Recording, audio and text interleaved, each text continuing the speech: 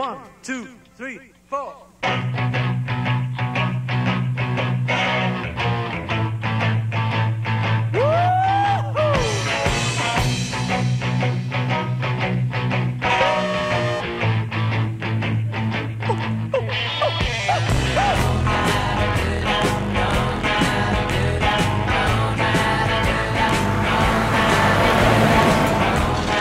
Linda and I were traveling through Scotland, heading north from Glasgow. As I'm driving, I'm just thinking. Linda often used to say she could see my brain working. My face get a look on it, and uh, that would just be me filing through ideas. And I just hit upon the word ram. It's a strong, it's a male animal. And then there's the idea of ramming, you know, pushing forward strongly,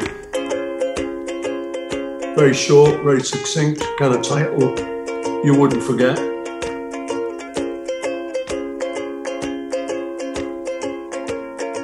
I was in the middle of this horrendous Beatles breakup, and it, it was like being in quicksand, you know. And the light bulb went off one day when we realized that we could just run away and just go to Scotland where we knew we loved it and go and hang out. So, you know, you find me kind of mowing a field on my tractor or shearing the sheep with old fashioned hand shears.